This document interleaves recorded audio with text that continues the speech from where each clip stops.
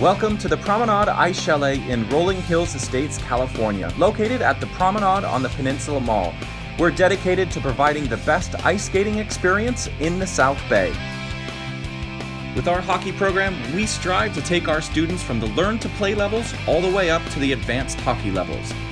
Our coaches break our classes up into multiple stations where they run drills and practice skills within different level groups.